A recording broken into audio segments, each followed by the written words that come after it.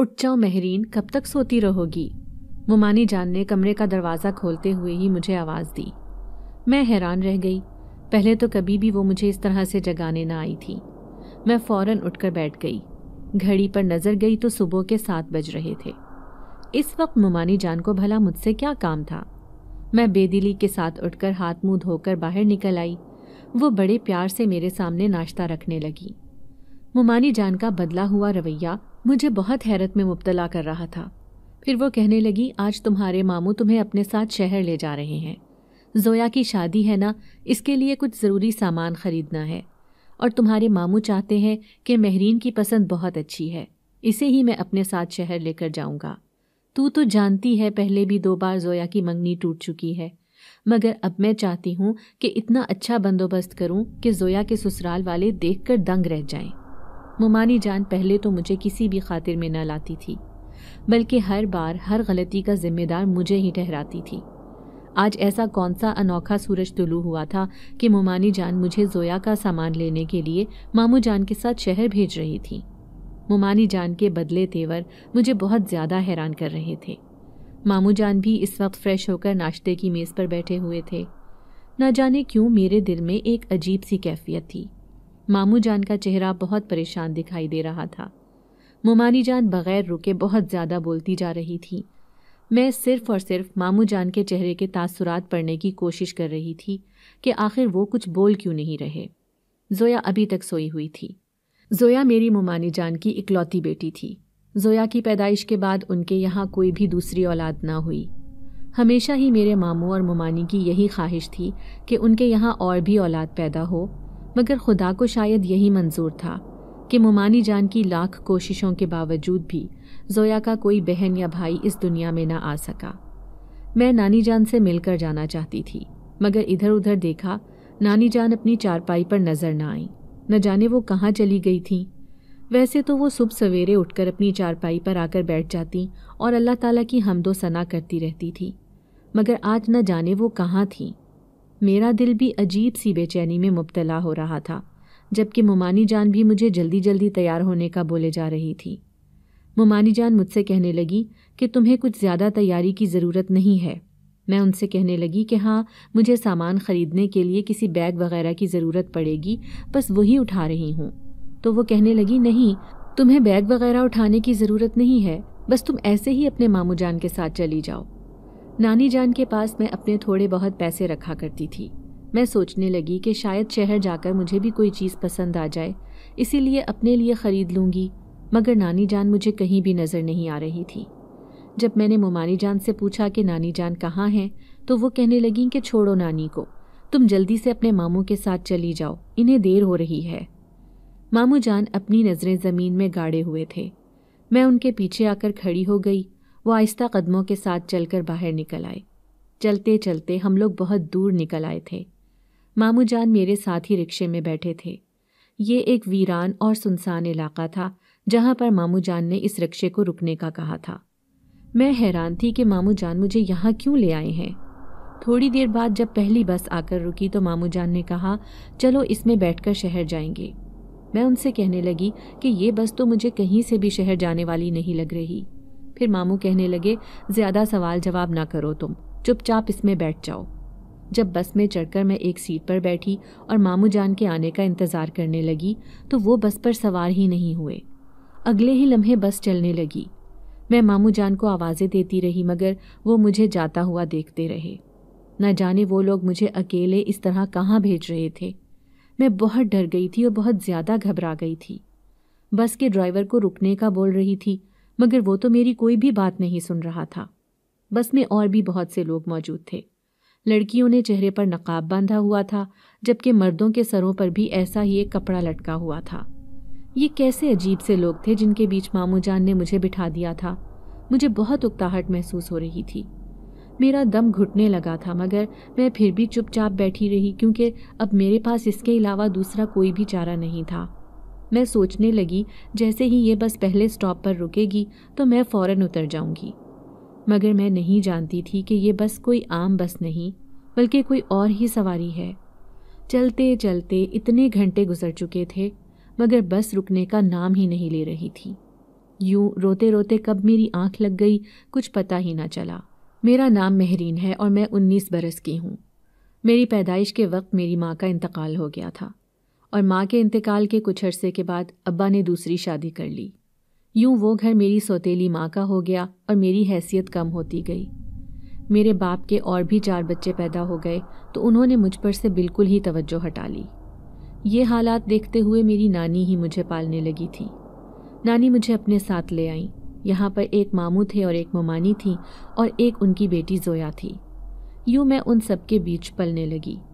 यहाँ पर हालाँकि घर के अफराद तो कम ही थे, लेकिन फिर भी मामी का रवैया मेरे साथ बड़ा अजीब सा था। वो नानी और मामू के सामने तो मुझसे प्यार जताती, लेकिन अकेले में वो मेरी ज़रा भी परवाह ना करती और बात बे बात मुझे डांट देती। मुझे उनका ये दोहरा रवैया बड़ा अजीब सा लगता था और मैं खामोश नज़रों से उन्हें देखती रह जाती थी। मुझे समझ नहीं आती थी कि आखिर मामी मेरे साथ ऐसे क्यों करती हैं। मैंने एक दो बार मामू से शिकायत भी की लेकिन मामू यही कहते कि वो सारा दिन घर के कामों में मसरूफ़ रहती हैं, जिसकी वजह से थक जाती है। हो सकता है उसने थकन की वजह से तुम्हें ऐसे कह दिया हो। तुम परेशान मत हुआ करो। तुम अपनी मामी को समझने की कोशिश करो। इसी वजह से मैं भी चुप कर गई और दोबारा कभी मामी की शिकायत मामू से नहीं की। लेकिन नानी सब कुछ जानती थी। वो मामी की सारी चलत्तरबाजियों से खूब वाकिफ थी। मैं जैसे जैसे जवान हो रही थी वैसे वैसे निखरती जा रही थी। मेरा हुस्न मेरी पहचान बन रहा था। मैं इतनी हसीन थी कि हाथ लगाए मैली हो जाऊँ। मेरी सब्ज आँखें देखने वालों को तारीफ़ करने पर मजबूर कर देती, जबकि मेरे मुकाबले में जोया का रंग थोड़ा दबता हुआ था, और इसके नए नक्श भी मोटे मोटे थे। वो मामी पर पड़ी थी जबकि मैं अपनी माँ पर गई थी। मेरी माँ और नानी दोनों ही बहुत खूबसूरत खवतान थीं। यही वजह थी कि उन दोनों का हुस्न मुझमें कूट कूट कर भरा हुआ था। मेरे हुस्न की वजह से ही मामी मुझसे बहुत खार खाती थी। उन्हें मेरे मुकाबले में जोया का वाजबी सा हुसन बहुत खटकता था। यही वजह थी कि वो जोया के ऊपर अक्सर टोटके आजमाती रहती। कभी उसके चेहरे पर कोई टोटका लगाकर उसे गोरा करने की कोशिश करती तो कभी उसके बालों में कुछ लगाकर उसके बालों को घना और मज़बूत करने की कोशिश करती। लेकिन मामी की लाख कोशिशों के बावजूद जोया का रंग वैसे का वैसा ही रहा और उसके बालों ने भी जान नहीं पकड़ी। जबकि मैं कुछ ना लगाकर भी चमकती थी, जिसकी बदौलत मामी मुझसे खार खाने लगी थी। और अक्सर घर में जब भी कोई मेहमान वगैरह आते तो वो मुझे सामने आने का नहीं कहती थी। ना तो मामी मुझे किसी तकरीब में अपने साथ लेकर जाती और ना ही किसी के सामने होने देती। वो हमेशा जोया को ही सजा बनाकर अपने साथ लेकर जाती थी। कोई शादी होती, कोई फ़ंक्शन होता, मामी कभी मुझे साथ ले जाने के लिए ना कहती। उनकी यही कोशिश थी कि मुझसे पहले जोया का किसी तरीके से रिश्ता पक्का हो जाए। यही वजह थी कि वो मुझे किसी के सामने नहीं आने देती थी। जबकि उन्होंने लोगों में ये मशहूर कर दिया था कि मैं बहुत मगरूर और बदमिजाज हूँ। मैं अपने आगे किसी को कुछ नहीं समझती और इसी वजह से मैं अपने कमरे से बाहर ही नहीं निकलती। मामी की बातों पर लोग यकीन करने पर मजबूर थे, क्योंकि मामी मुझे बाहर आने ही नहीं देती थी और ना ही किसी से मिलने देती थी। जिसकी बदौलत लोगों को मामी की बातें सच लगती थीं। अब चूँकि हम जवान हो चुके थे, मामी ने जोया को तो कॉलेज में दाखिल करवा दिया था। हालाँकि उसका पढ़ाई में कोई ध्यान नहीं लगता था। वो पढ़ाई में भी बहुत कम नंबर लेकर पास होती थी, जबकि मैं अपनी क्लास की बेहतरीन स्टूडेंट्स में शुमार होती थी। लेकिन मामी ने मुझे मैट्रिक के बाद आगे पढ़ने की इजाज़त नहीं दी। उनका यही कहना था कि तुम्हारे मामू दो दो बच्चों की तालीम का खर्चा बर्दाश्त नहीं कर सकेंगे। और फिर वैसे भी मैं चाहती हूँ कि तुम दोनों की जल्दी शादी कर दूँ। तुम लोग अपने घर बार की हो। क्या फ़ायदा जब इतना पढ़ लिख कर हांडी चूल्हा ही करना है तो इतने पैसे खर्च करने की क्या ज़रूरत है? लेकिन मामी ने अपनी इस बात के बरक्स जोया को कॉलेज में दाखिल करवा दिया था। उनका कहना था कि जोया को इस तरह ज़माने की समझ आएगी। वो बड़ी मासूम है भोली भाली है। उसे कॉलेज आकर पता चलेगा कि किस तरह तैयार होते हैं। कॉलेज में लड़कियों के फ़ैशन को देखकर शायद वो भी ज़माने की तरह होशियार हो जाए। लेकिन मामी का ये रवैया मुझे दिल ही दिल में बहुत दुख देता था और मैं अपने कमरे में आकर अपने बिस्तर पर गिरकर बहुत रोती थी, क्योंकि मैं आगे पढ़ना चाहती थी और पढ़ाई मेरा शौक था। नानी ने भी, हालाँकि मामू से बहुत कहा कि मुझे भी कॉलेज में दाखला करवा दें, लेकिन मामू ने मामी वाली बात ही कही और मुझे दाखला नहीं लेने दिया। जोया ने अब एफए कर लिया था। उन्हीं दिनों घर में एक रिश्ते की बात चलने लगी। वो रिश्ता मामी ने जोया के लिए देखा था। मामी के दूर परे के रिश्तेदारों में से कोई लड़का था जो बाहर से पढ़कर आया था और उसकी माँ अपने ख़ानदान में ही लड़कियाँ देखती फिर रही थी। उन्हें एक खूबसूरत और सुघड़ बहू चाहिए थी। यही वजह थी कि उन्होंने अपने घर पर अपने बेटे की कामयाबी का एक फ़ंक्शन रखा, जिसमें मामी भी मद्दऊ थी। मामी अपने साथ बाकायदा जोया को तैयार करके लेकर गई। उसके लिए ख़ास तौर पर लिबास तैयार करवाया गया और पार्लर से बड़ा हल्का हल्का सा मेकअप करवाया गया। सच पूछिए तो जोया बहुत अच्छी लग रही थी, लेकिन वहाँ पर न जाने क्या सूरत हाल रही, मामी ने मुझे कुछ भी नहीं बताया और ना ही कभी जोया ने आकर इस तरह की कोई बात कही थी, क्योंकि वो तो वैसे ही मुझसे हसद करती थी और हमेशा मुझसे कुछ फासले पर ही रहती थी। हम दोनों के दरमियान ना तो कोई दोस्ती थी और ना ही कज़नों वाली बेतकल्लुफ़ी थी। हम घर में दो अजनबियों की तरह ही रहते थे। बस कभी कभार ज़रूरत पड़ने पर हल्की फुल्की बातचीत कर लेते थे। मामी इस रिश्ते के लिए बहुत ज़्यादा पुरजोश थी। यही वजह थी कि उन्होंने उस लड़के और उसकी माँ को खाने की दावत पर मद्दू करने का सोचा और इसके लिए उन्होंने एक बड़ा लंबा चौड़ा मेन्यू तरतीब दिया। मैं चूँकि खाना पकाने में माहिर थी और हर तरह का खाना आसानी से पका लेती थी। इसीलिए मैंने दो दिन किचन में खप कर मामी के मुंतखब करदा मेन्यू की तैयारी की, जबकि ये दो दिन जोया ने सिर्फ़ पार्लर में ही गुजारे और अपने हुस्न को लश्कारने के लिए हर तरकीब आजमा ली। इन दो दिनों की मेहनत कुछ कुछ तो उसके चेहरे पर नज़र आ रही थी कि उसकी जिल्द चमकदार और खूबसूरत लग रही थी, लेकिन फिर भी वो मेरी तरह नहीं लग रही थी। दावत काफ़ी अच्छे तरीके से अंजाम पाई।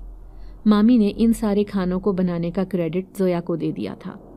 यही वजह थी कि उसके ससुराल वाले उसकी बहुत तारीफ़ करते रहे, जबकि मैं दिल ही दिल में दुखी होती रही, क्योंकि इतनी मेहनत करके ज़रा सी भी तारीफ़ मेरे हिस्से में नहीं आई। इतने में लड़के ने शायद वॉशरूम जाना था कि वो उठकर बाहर आया तो मैं किचन से निकल रही थी। हम दोनों का सामना हुआ तो मैं उसे सलाम करती हुई फ़ौरन अपने कमरे में चली गई, जबकि वो कुछ लम्हे वहीं खड़ा रहा और फिर वॉशरूम से होकर वापस ड्राइंग रूम में चला गया। इसके बाद वो लोग ज़्यादा देर ठहरे नहीं और घर चले गए। जबकि बाद में मुझे मालूम हुआ कि वो रिश्ता तय नहीं पाया। इसकी वजह तो मुझे मालूम नहीं हुई, लेकिन नानी से पता चला था कि उस लड़के ने तुम्हें देख लिया था और वो तुम्हारे बारे में पूछ रहा था। जबकि नानी कहने लगी कि तुम्हारी मामी ने उसे गोल मोल जवाब दिया और कहा कि तुम हमारे घर मेहमान आई हुई हो। जबकि वो लड़का बार बार इस बात पर इसरार कर रहा था कि उस लड़की के बारे में पता करके बताया जाए, मैं उससे शादी करना चाहता हूँ। यही वजह थी कि तुम्हारी मामी ने गुस्से में आकर दोबारा ना तो उनका फ़ोन उठाया और ना ही कोई बात की। अब वो इधर उधर जोया के लिए रिश्ता देखती फिर रही है। नानी की ज़बानी जब मुझे ये सारी तफसील पता चली तो मैं बहुत हैरान हुई। मामी चाहती तो मेरा रिश्ता वहाँ पर तय कर सकती थी। जो रिश्ता उन्हें अपनी बेटी के लिए पसंद था, वो अगर मुझे अपनी बेटी समझती तो मेरे लिए भी वैसा ही सोचती। लेकिन उन्होंने ऐसा कुछ भी नहीं सोचा और इस रिश्ते वालों को मना कर दिया। इसके बाद मामी जब भी कहीं रिश्ता देखती तो मुझे कमरे में बंद कर जाती। मुझे ये बहुत बुरा लगता, लेकिन मामी अपनी आदत से मजबूर थी और उनका यही कहना था कि इस तरह जोया का रिश्ता तय नहीं होगा। जब तक तुम सामने आती रहोगी, तुम्हारे आगे जोया को कोई नहीं पूछेगा। मामी की बात सुनकर मैं भी खामोश हो जाती और यूँ मामी की कोशिशों से जोया का रिश्ता एक जगह पर तय हो ही गया और अब उसकी शादी की तैयारियाँ चल रही थी। मैंने आज तक जोया के घर वालों को नहीं देखा था और ना ही उन्होंने मुझे देखा था। लेकिन मामी को फिर भी इस बात का धड़का लगा रहता था कि कहीं मैं अगर लड़के वालों के सामने आ गई या उन्हें पता चल गया कि मैं जोया की कज़न हूँ तो कहीं वो ये रिश्ता ख़त्म ही ना कर दें और मेरा रिश्ता ना मांग लें। जबकि मुझे इस तरह की कोई परेशानी नहीं थी, ताहम मामी के वहम का कोई इलाज नहीं किया जा सकता था। आज से पहले तो मामी और मामू ही शहर जाकर सारी तैयारी करते थे। या कभी जोया उनके साथ चली जाती और अपनी मर्ज़ी की शॉपिंग कर लेती। लेकिन आज मामी ने ख़ास तौर पर मुझे मामू के साथ रवाना कर दिया था और कहने लगी कि जाकर अच्छी सी शॉपिंग कर लो। आज तो मामी का रवैया भी बहुत अच्छा था और जिस तरह वो मुझसे खुश अखलाकी और मोहब्बत से बात कर रही थी, मैं बहुत हैरान हो रही थी। ताहम मैंने मामी की इस बात को झुटलाया नहीं, क्योंकि मुझे बाज़ार से कुछ चीज़ें लेनी थी। यही वजह थी कि मैं फ़ौरन तैयार हो गई ताहम मुझे इस बात का अफसोस रहा कि मैं आते हुए नानी से मिलकर नहीं आ सकी। नानी से मिल आती तो मेरी टेंशन ख़त्म हो जाती और मैं उनसे अपने पैसे भी ले आती। लेकिन अब यही सोच रही थी कि अगर बाज़ार में कुछ चीज़ पसंद आ गई तो मैं मामू से पैसे ले लूँगी। लेकिन आज तो मामू का रवैया भी कुछ अजीब सा था। वो बड़े खामोश से थे और ऐसे लग रहा था जैसे किसी सोच में मुबतला हो। रास्ते में भी उन्होंने कोई बात नहीं की। हालाँकि मामी के बरक्स वो फिर भी मुझसे मोहब्बत रखते थे। और अक्सर मेरे साथ गपशप लगा लेते थे, लेकिन आज तो उनका रवैया भी अजीब सा लग रहा था। मैं अपने जहन में उन चीज़ों की लिस्ट बना रही थी जो मैंने बाज़ार से लेनी थी, और इसी सोच में गुम थी कि मैं बस में सवार हो गई जबकि मामू मेरे पीछे ही थे। लेकिन जब मैंने देखा तो मैं तो सीट पर बैठ चुकी थी, और मामू बस में सवार ही नहीं हुए थे। मैं एकदम घबरा गई और अपनी सीट से उठ खड़ी हुई और मामू को आवाज़ देने लगी। बस में मामू कहीं भी दिखाई नहीं दिए। बस चल पड़ी थी और मामू मुझे खिड़की से बाहर देखने पर सड़क पर खड़े नज़र आए। मैं उन्हें आवाज़ें देती रह गई और मामू मुझे चुपचाप देखते रहे। मैंने कंडक्टर और ड्राइवर से बोला कि बस को रोक दो, मेरे मामू बाहर रह गए हैं, लेकिन उन्होंने मेरी बात नहीं सुनी और बस को चलाए रखा। अब मुझे एहसास हुआ जैसे मामू जानबूझकर वहाँ रुक गए थे, लेकिन मुझे इस बात की समझ नहीं आ रही थी कि मामू ने मुझे इस बस में क्यों सवार करवा दिया और अब ये बस कहाँ जा रही है?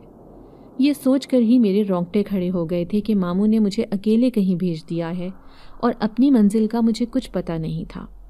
अब मैंने इस बस के ऊपर गौर करना शुरू किया तो मुझे इसमें अजीब से लोग बैठे दिखाई दिए। औरतों ने अपने मुँह ढके हुए थे जबकि उनकी कद्दो कामत काफ़ी बड़ी थी।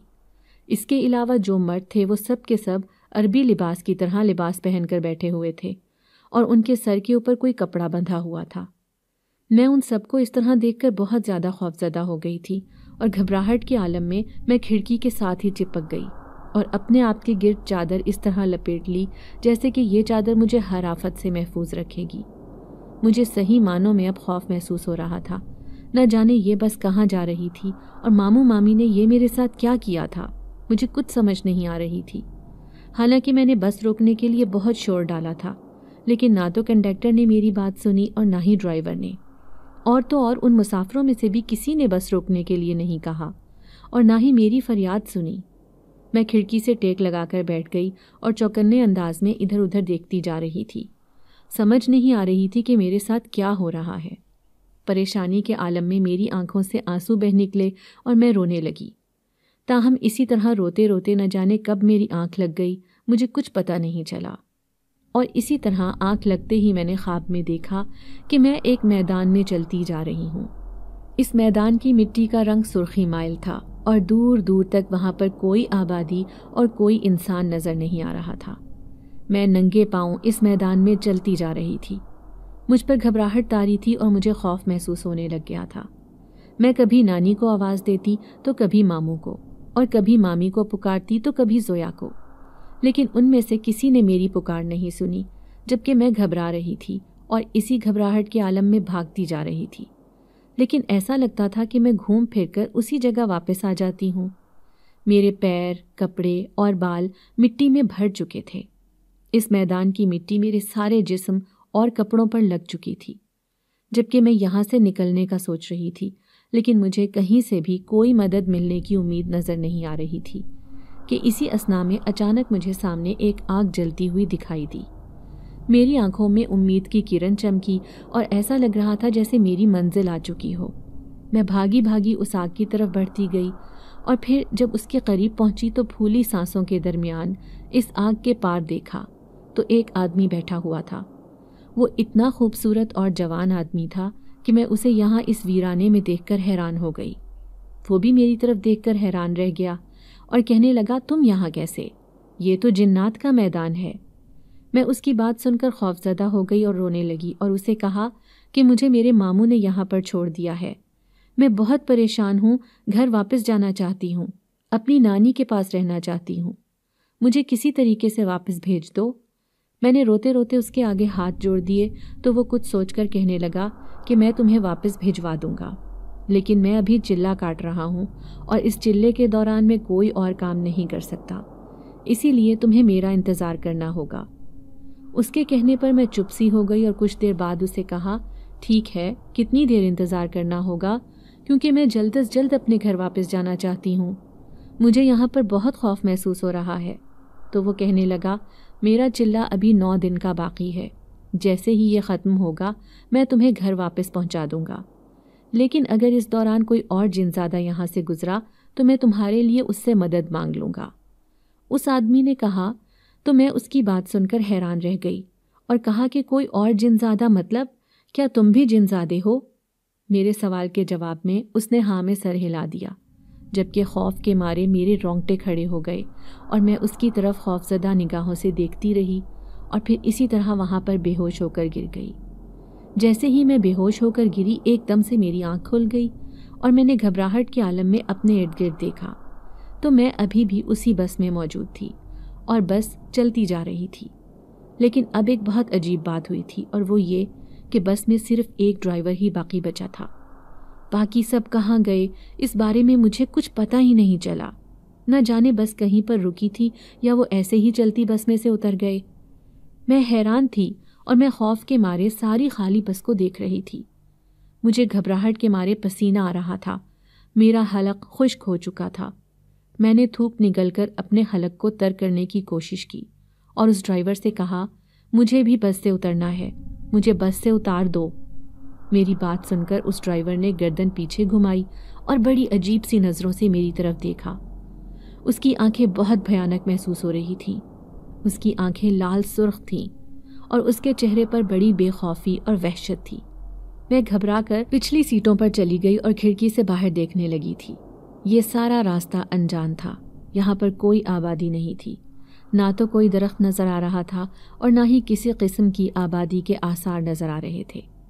और इसके अलावा यहाँ पर मुझे सड़क पर कोई और गाड़ी या बस चलती हुई दिखाई नहीं दे रही थी। मैं दिल ही दिल में क़ुरानी आयात का वेट करते हुए ख़ुद को तसल्ली देने लगी। ताहम मुझे मालूम हो रहा था कि मैं किसी बड़ी मुसीबत में गिरफ़्तार हो चुकी हूँ। यहाँ पर न जाने और कितना वक्त गुजर गया, मुझे कुछ समझ नहीं आई। और फिर एक जगह पर जाकर बस रुक गई। मैंने खुशी से बस के बाहर खिड़की में से झांका तो दूर दूर तक वहाँ पर कोई आबादी नहीं थी। एक खाली और चटियल मैदान मुझे नज़र आ रहा था। मेरा दिल परेशान होकर रह गया। मैं जैसे ही ड्राइवर की तरफ़ मुड़ी तो देखा कि वो ड्राइवर उस वक्त गाड़ी में मौजूद नहीं था। मैं हक्का बक्का रह गई, ये कहाँ गया? मैंने खिड़कियों में से बाहर झांकना शुरू कर दिया, लेकिन मुझे वो ड्राइवर कहीं दिखाई नहीं दिया। मैं जल्दी से बस का दरवाज़ा खोलकर बाहर निकल आई और दूर दूर तक देखने की कोशिश की, लेकिन सिवाय इस मैदान के मुझे और कुछ नज़र नहीं आ रहा था। बेबसी के मारे मेरी आँखों में आँसू आ गए। मैं वहीं पर बैठकर रोने लगी। न जाने मामू और मामी ने मुझसे किस बात का बदला लिया था, जो यूँ मुझे यहाँ पर इस तरह बेयारो मददगार भेज दिया। न जाने कितनी देर तक मैं इसी तरह वहाँ पर बैठकर रोती रही।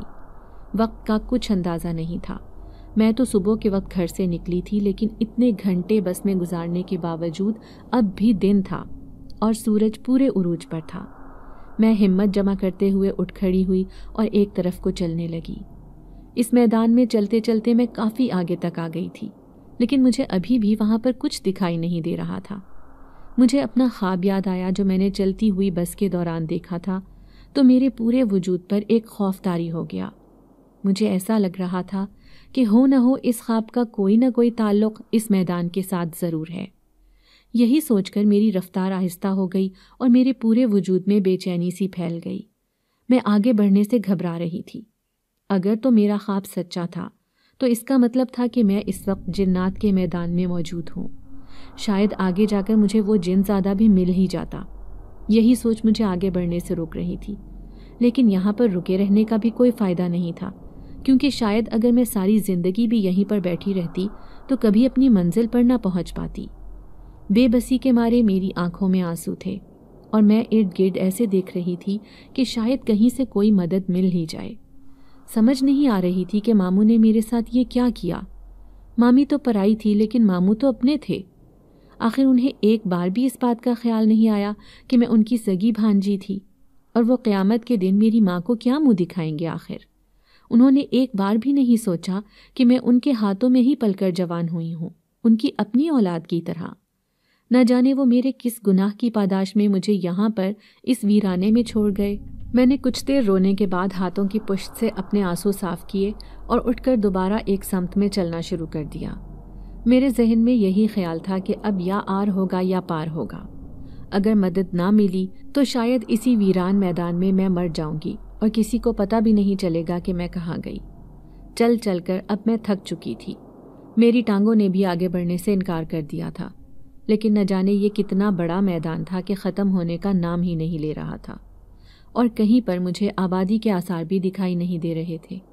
मैं दोबारा से ज़मीन पर बैठ गई और ऊपर आसमान की तरफ़ ऐसे देखने लगी, जैसे अल्लाह मेरी फरियाद सुनकर फ़ौरन मदद के लिए किसी फरिश्ते को भेज देगा। कुछ देर दिल ही दिल में अल्लाह ताला से मदद मांगती रही, दुआ करती रही, और फिर जब थोड़ी सी हिम्मत बनी तो दोबारा उठकर उसी समत में चलना शुरू कर दिया। अब मेरा हलक खुश्क हो चुका था और उसमें कांटे उग गए थे। इस वक्त पानी की शदीद तलब थी, लेकिन इर्द गिर्द कहीं पर मुझे पानी दिखाई नहीं दे रहा था। मैं बार बार थूक निकलकर अपने हलक को तर करने की कोशिश करती, आगे बढ़ती जा रही थी। और फिर मुझे दूर एक छोटी सी कुटिया नज़र आई। इस कुटिया में एक छोटा सा दरख्त लगा हुआ था, जो दूर से ही दिखाई दे रहा था। मैं बहुत खुश हुई और दीवाना वार उसकी समत भागने लगी। हालाँकि भागने के लिए मेरी हिम्मत बहुत कम थी। लेकिन फिर भी मैं भागती भागती उस कुटिया के करीब पहुँच गई। ये सिर्फ़ चार दीवारी बनी हुई थी और वो भी बहुत कम ऊंचाई पर थी। मुझे अंदर का मंजर साफ़ नज़र आ रहा था। सामने मिट्टी से बना हुआ एक छोटा सा कमरा था और इस कमरे के अंदर से रोशनी निकल रही थी, जो मुझे इस रोशन दिन में भी वाज तौर पर महसूस हो रही थी। मैं फ़ौरन अंदर आई, लेकिन इस कमरे में जाने से पहले मैं बेहोश होकर गिर चुकी थी। शायद हिम्मत ख़त्म हो गई थी या फिर मंजिल पर पहुंचकर सुकून आ गया था। जाने कितना वक्त मैं बेहोश रही और फिर जब मुझे होश आया तो मैंने देखा कि मेरे पास एक नौजवान बैठा हुआ है और ये वही ख्वाब वाला नौजवान था, जो मैंने अपने ख्वाब में देखा था। उसे देखकर मैं एकदम हैरत के मारे उसकी तरफ़ देखने लगी। वो मुझे इस तरह देखता पाकर मुस्कुराने लगा और कहने लगा, यकीनन तुमने मुझे पहले ख्वाब में देखा होगा। उसकी बात सुनकर मैंने फ़ौरन सर हिला दिया और पूछा, तुम्हें कैसे ये मालूम हुआ? तो वो कहने लगा कि मैं यहाँ पर बैठकर चिल्ला काट रहा था। मैं अपने ध्यान में मगन था कि मुझे महसूस हुआ जैसे मेरे करीब कोई आया है। लेकिन ये सिर्फ़ चंद लम्हों की बात थी और मैं दोबारा चिल्ला काटने में मसरूफ़ हो गया। और अब तुम्हें जब मैंने यहाँ पर देखा तो मुझे सब कुछ समझ में आ गया था। तुम यकीनन यहाँ पर किसी बड़ी मुसीबत में गिरफ़्तार हो। उसने पूछा तो मैंने फ़ौरन हाँ में सर हिलाया और उसे कहा, मैं यहाँ पर एक मुसीबत में फंस चुकी हूँ। मेरे मामू मुझे यहाँ पर छोड़ गए हैं और इसके साथ ही मैंने उसे सारी तफसील बता दी, जिसे सुनकर वो अफसोस से सर हिलाने लगा और कहने लगा, तुम्हारे मामू ने तुम्हारे साथ बहुत ज़्यादती की है। बहरहाल, मैं तुम्हारी मदद ज़रूर करूँगा। ये जन्नात की दुनिया है और ये जन्नात का मैदान है। मैं एक जिन ज़्यादा हूँ और इस छोटी सी कुटिया में रहता हूँ। मेरे कुछ काम थे जो अधूरे थे, जिन्हें मैंने यहाँ पर बैठकर मुकम्मल करना था। लेकिन खैर, अब मैं तुम्हें तुम्हारे घर के बाहर पहुँचा दूँ तो फिर ही उन्हें मुकम्मल करूँगा। उसने बड़े आहिस्ता और नरमी भरे अंदाज में कहा कि मैं बजाय उससे खौफजदा होने के उसकी ममनून हो गई और फ़ौर उसे कहा कि अगर ऐसा हो जाए तो तुम्हारा ये एहसान मैं कभी नहीं भूलूँगी। मेरी बात सुनकर वो हंस दिया और कहने लगा, ये तुम पर एहसान नहीं होगा, बल्कि तुम्हारी मदद होगी। और मुझे जब भी कभी मौका मिलता है, मैं इसी तरह मदद कर देता हूँ। तुम फ़िक्र मत करो, मैं तुम्हें घर पहुँचा दूँगा। ये कहते हुए वो उठ खड़ा हुआ और अंदर कमरे में चला गया। वो शायद अपने किसी काम में मसरूफ़ हो गया था, जबकि मैं वहीं पर बैठी रही, क्योंकि मुझे उसका इंतज़ार करना ही था। उसके अलावा मेरे पास और कोई मदद मौजूद नहीं थी, और जब तक वो मुझे छोड़ कर ना आता, मुझे यहाँ से निकलने का रास्ता नहीं मिलना था। इसीलिए मैं मजबूर थी कि उस पर भरोसा करती और उसका इंतज़ार करती। जाने कितनी देर वो उसी काम में मसरूफ़ रहा। मैं तो इस दिन पर हैरान थी कि यहाँ अभी तक शाम ही नहीं हुई थी, और अभी तक वैसे ही रोशन दिन तुलू था। हालाँकि मुझे ऐसा लग रहा था जैसे मुझे घर से निकले हुए एक दिन से ज़्यादा हो चुका है, लेकिन यहाँ पर शाम होने का नाम ही नहीं ले रही थी। काफ़ी देर के बाद जब वो अंदर से निकला तो मुझे इसी तरह बैठे देखकर चौंक गया और कहने लगा अभी तक ऐसे ही बैठी हो। फिर एकदम शर्मिंदा हो गया और कहने लगा, माजरत चाहता हूँ। मैं अपनी उलझन में गिरफ़्तार था। तुम्हें आराम करने का कहकर नहीं गया और ना ही कुछ बता कर गया। बहरहाल, अभी तुम कुछ देर आराम कर लो, फिर तब तक मेरा भी काम मुकम्मल हो जाएगा तो मैं तुम्हें वापस पहुँचा दूँगा। लेकिन मैंने उसे कहा कि नहीं, मुझे आराम की ज़रूरत नहीं है। मैं यहीं पर ठीक हूँ। तुम अपना काम मुकम्मल कर लो तो हम चलते हैं। मेरे उजलत में कहने पर उसने बड़ी गहरी नज़रों से मेरी तरफ़ देखा और कहने लगा, घबराओ नहीं। हम जिन ज़्यादे हैं, हम कभी किसी को नुकसान नहीं पहुंचाते। और तुम बेफिक्र रहो, मैं तुम्हें कोई नुकसान नहीं पहुंचाऊँगा, बल्कि घर तक पहुँचा दूँगा। उसके नरमी से कहने पर मुझे कुछ हौसला हुआ। ताहम मैं अभी भी अंदर जाकर आराम करने के लिए रजामंद नहीं हुई थी। वो दोबारा से अपने काम में मसरूफ़ हो गया और फिर जब वो फारिग होकर आया तो मुझे कहने लगा कि चलो, अब मैं तुम्हें छोड़ आता हूँ। मैं फ़ौरन उठ खड़ी हुई और उससे पहले ही उस कुटिया से बाहर निकल आई। बाहर अब भी वैसा ही मैदान था और दूर दूर तक कहीं पर ना तो कोई आबादी थी और ना ही कोई सवारी थी। मैंने उससे पूछा भी कि हम यहाँ से कैसे जाएँगे? तो कहने लगा, तुम फ़िक्र मत करो। मुझे सारे खुफिया रास्तों का पता है, मैं तुम्हें ले जाऊँगा। और फिर इसके बाद उसने मुझे आँखें बंद करने के लिए कहा। मैंने घबराए हुए अंदाज में आँखें बंद की मुझे ऐसा महसूस हुआ जैसे मेरे जिसम को एक झटका सा लगा हो। और इसके बाद जब उसने आँखें खोलने के लिए कहा तो मैंने देखा कि मैं उसी सड़क के किनारे खड़ी थी, जहाँ पर उस बस ने मुझे उतारा था। मैंने हैरानी से उसकी तरफ़ मुड़कर देखा तो वो कहने लगा, ये वही सड़क है, जहाँ पर तुम बस से उतरी थी। अब हमें यहाँ से दूसरी बस लेनी होगी, और फिर इसी के ज़रिए हम तुम्हारे घर पहुँचेंगे। उसके कहने पर मैं वहीं खड़ी होकर बस का इंतज़ार करने लगी। लेकिन ये इंतज़ार ज़्यादा देर नहीं रहा। कुछ देर के बाद ही दूर से बस आती दिखाई दी और फिर हम दोनों ही उसमें सवार हो गए। उस बस में भी काफ़ी लोग बैठे हुए थे और बिल्कुल उसी हुलिये के थे जैसे दूसरी बस में थे। ताहम अब मैं जानती थी कि ये बस जिन्नात की बस है और ये सब जिनजादे और जिनजादियाँ हैं। मुझे उनसे खौफ तो महसूस नहीं हो रहा था, लेकिन अजीब घबराहट और बेचैनी थी जो ख़त्म होने का नाम ही नहीं ले रही थी। और अभी तो वैसे भी मुझे घर जाने की जल्दी थी। इसी वजह से मुझे उस जिनजादे पर भरोसा करना ही था। और फिर उस बस में भी कितने घंटे सफ़र करने के बाद जब मैं उस इलाके में उतरी, जहाँ से मामू ने मुझे बस में सवार करवाया था तो मैंने बड़ी मशकूर निगाहों से उसकी तरफ़ देखा। मेरी निगाहों का मफहूम समझकर वो हंस दिया और कहने लगा कि तुम बात बात पर एहसान मंदी से मेरी तरफ़ देखती हो। ऐसे मत करो, ये मेरा फ़र्ज़ है। वैसे भी हम दूसरों की भलाई और मदद के लिए ही तो मौजूद होते हैं। ये कहते हुए वो एक तरफ़ को चल पड़ा और मैं उसके पीछे पीछे थी। अब मुझे कुछ कुछ रास्ते की समझ आ रही थी। मामू मुझे इस मैदान में लेकर आए थे। मैं रास्ता पहचानने लगी थी। उसके पीछे काफ़ी देर तक चलते रहने के बाद आबादी के आसार दिखाई देने लगे थे और मुझे अंदाज़ा हो गया था क्योंकि ये सड़क मेरे घर के करीब ही जाती थी। मैं खुशी से चहक उठी और उसे कहने लगी अरे, मेरा घर तो करीब आ गया। अब मैं अपने घर पहुँच जाऊँगी। मैंने खुशी से चहकते लहजे में उसे कहा तो वो मुस्कुरा दिया। अब भी वो मुझसे आगे आगे चल रहा था और मैं उसके पीछे तकरीबन भाग रही थी। कुछ देर के बाद ही वो मुझे मेरे मोहल्ले में ले आया और फिर कहने लगा, अब मैं वापस जाता हूँ, क्योंकि तुम्हें मालूम है कि मेरे बहुत सारे काम पड़े हैं। लेकिन तुम अपना ख्याल रखना, और अगर कभी भी मेरी मदद की ज़रूरत हो तो बस एक बार दिल में मुझे पुकार लेना। मैं आ जाऊँगा। उसने ये कहते हुए बड़ी गहरी निगाहों से मेरी तरफ़ देखा और फिर निगाहें झुका ली, जबकि मैं बदले में उसका शुक्रिया भी अदा नहीं कर सकी और उसे सिर्फ़ इतना ही कहा कि तुम भी अपना ख्याल रखना। वो खामोशी से वहाँ पर खड़ा मुझे देखता रहा और फिर वापस मुड़ गया। उसके जाने पर मुझे क्या हुआ, मेरा दिल एकदम बहुत उदास हो गया था। दिल चाह रहा था कि आगे बढ़कर उसको रोक लूँ। जिस तरह उसने मेरी मदद की और फिर मुझे वहाँ से बहिफाजत घर तक पहुँचाया मैं शायद सारी ज़िंदगी भी उसकी ग़ुलाम बनकर रहूँ तो उसका एहसान नहीं चुका सकती थी। लेकिन मैं उसे रोक नहीं पाई। उस वक्त मुझे घर पहुँचने की जल्दी थी और मैं जाकर मामू का गरेबान पकड़ना चाहती थी कि आखिर उन्होंने मेरे साथ ये सब क्यों किया। इसीलिए जैसे ही वो मेरी नज़रों से ओझल हुआ तो मैं फ़ौरन घर की तरफ़ मुड़ गई। घर का दरवाज़ा खुला हुआ था। मैं तड़पते हुए दिल के साथ अंदर दाखिल हुई। घर में बड़ी अजीब सी वीरानी थी। उस वक्त ऐसा लग रहा था जैसे वहाँ पर मौत का सन्नाटा फैला हुआ है। मेरा दिल एकदम उछलकर हलक में आ गया, क्योंकि मुझे नानी का ख्याल आया था। अगर नानी को कुछ हो गया तो मैं कभी मामू को माफ़ नहीं करूँगी। मैं दिल ही दिल में सोचती हुई आगे बढ़ी तो देखा, नानी सामने ही बरामदे में रखे हुए तख्त पर बैठी हुई थी और इस वक्त बहुत गमजदा नज़र आ रही थी। मैं फ़ौरन उनकी तरफ़ बढ़ी और उन्हें पुकारा। नानी नानी, ये देखो मैं आ गई। नानी ने जब मेरी आवाज़ सुनी तो फ़ौरन सर उठाकर मुझे देखा। मुझे देखते ही उनकी आँखों में आँसू आ गए और वो मुझे अपने साथ लगाकर रोने लगी। मेरी बच्ची, तू कहाँ चली गई थी?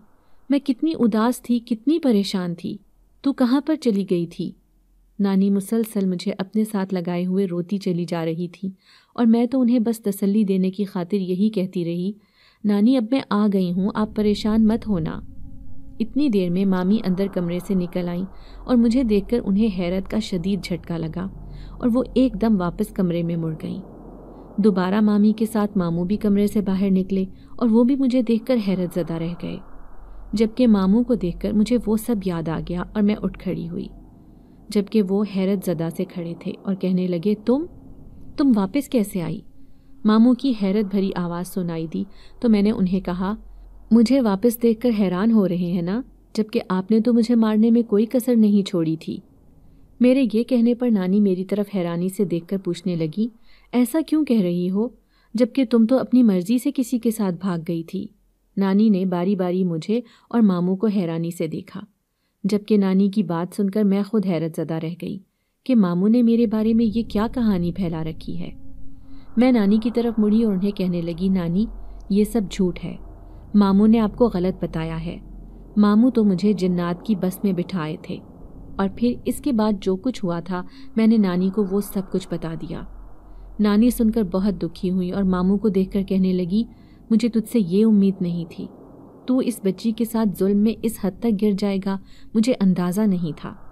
जबकि मामू और मामी इस वक्त शर्मिंदा नज़र आ रहे थे। लेकिन उन दोनों में अपनी सफ़ाई के लिए कुछ भी कहने की हिम्मत नहीं थी। नानी कहने लगी, मुझे अब समझ में आया है कि जोया के साथ ये सब क्यों हुआ।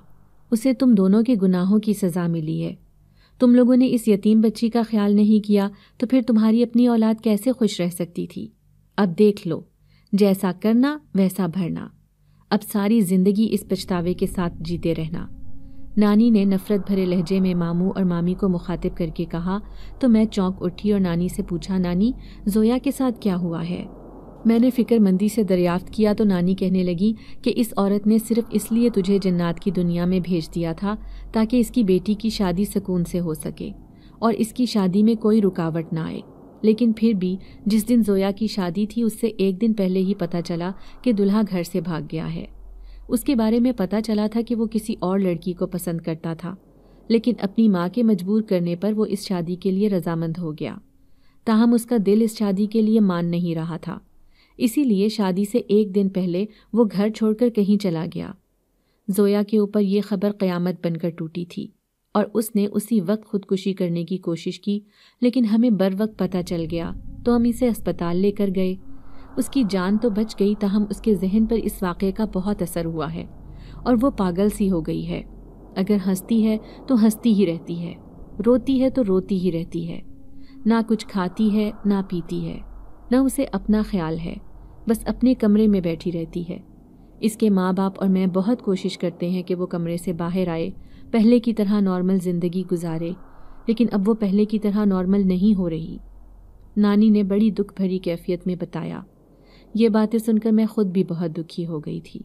कुछ भी था, जोया मेरी कज़न थी और वो हंसती, खेलती, जवान लड़की थी। मामू मामी के गुनाहों की सज़ा उसे मिली थी, ऐसा नहीं होना चाहिए था। मेरा दिल गहरे दुख से भर गया। फिर मैं एक ख्याल से चौंक उठी। मैं जब इस घर से गई थी तो जोया की शादी में अभी भी एक हफ़्ता रहता था और नानी ने इतने सारे वाकयात बयान कर दिए।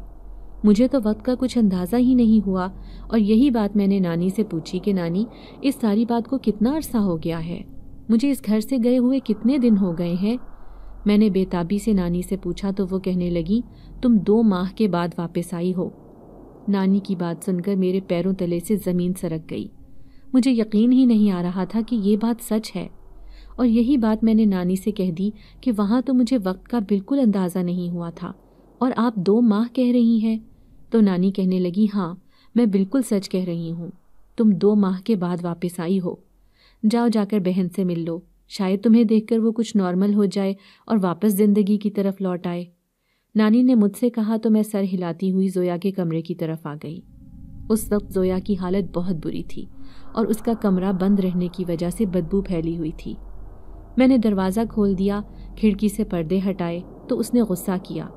लेकिन मुझे सामने देखकर वो चुप हो गई।